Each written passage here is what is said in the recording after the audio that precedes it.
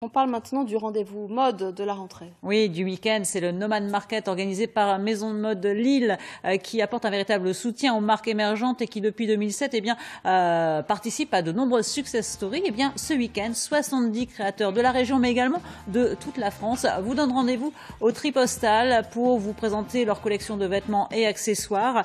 Euh, de quoi eh bien, réactualiser votre garde-robe, Christelle.